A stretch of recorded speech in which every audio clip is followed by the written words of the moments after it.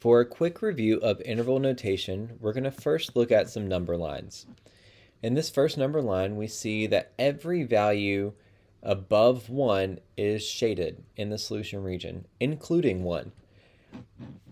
If you were to write this as an inequality, you would typically write this with x is greater than or equal to 1.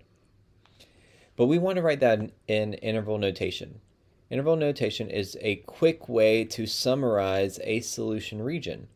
In this case, it'd be all the values from 1 to infinity. This is a defined point at 1. It's equal to 1, so we're going to have a bracket there. But there's no defined stopping point for this inequality. It's going to keep going on forever to infinity, so we put a parenthesis. Infinities will always use a parenthesis. In the second number line, we have every value below 2, but we're not including 2. It's an open circle, so that's not included. As an inequality, you might write that as x is less than 2. But in interval notation, we're going to summarize that as parentheses negative infinity up until 2. 2 is not included, so we get a parenthesis there. There's no defined stopping point to the left. It's just going to keep going on forever to negative infinity. So we have a parenthesis there and a parenthesis at 2 because 2 was not included. You might have compound inequalities where if we looked at this, this is every value between negative 4 and 3. In interval notation, we would have a parenthesis negative 4 all the way up to 3 with a bracket. That's including every number between negative 4 and positive 3. The second one here, we have two sections. This first section, because we're going to go from least to greatest, would start at negative infinity all the way up until 5. And it's going to get a bracket because 5 is included. But there's a gap in my interval there's another section. So we're going to represent that gap with our union symbol. A union looks like a U kind of symbol. And then it starts back up at 8, but 8 is not included. So we're going to put a parenthesis. 8 all the way to infinity with a parenthesis on the infinity again.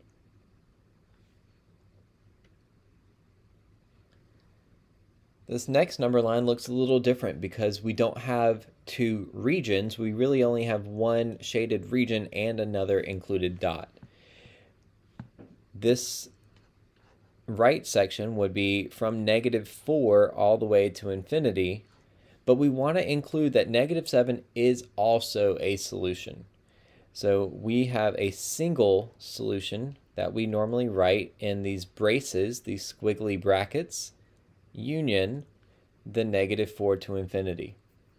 So if it's a single sol solitary number, you're going to put it in braces. Here I've written the inequality, and we want to just practice shading this on a number line and then writing this in interval notation. So for this k is less than or equal to negative 2. So I'm going to find negative 2, and I'm going to close it in because it's an equal to, it includes negative 2. But we want all the values that are less than, so to the left of negative 2. In interval notation, that would look like parentheses, negative infinity, all the way up to negative 2 with a bracket. V is greater than 4, I'm going to find the 4 and put a circle.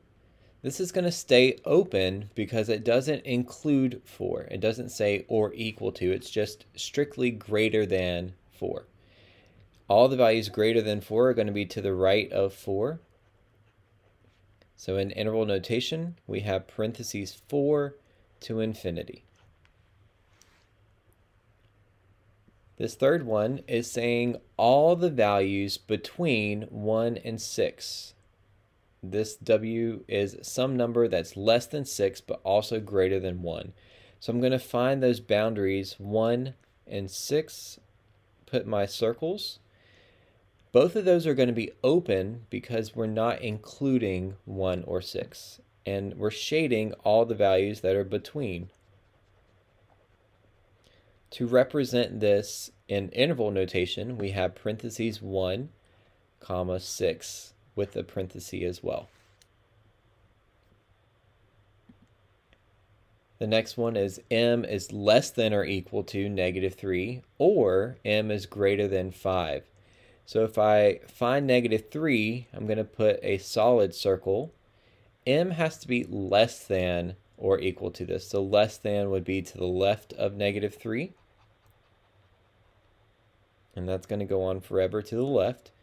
But we also have the values that are bigger than 5. m is greater than 5. So I'm going to find 5. It's not included. And we're going to shade to the right. So this would be parentheses, negative infinity, all the way up to negative 3 with a bracket, union, and then parentheses 5 to infinity.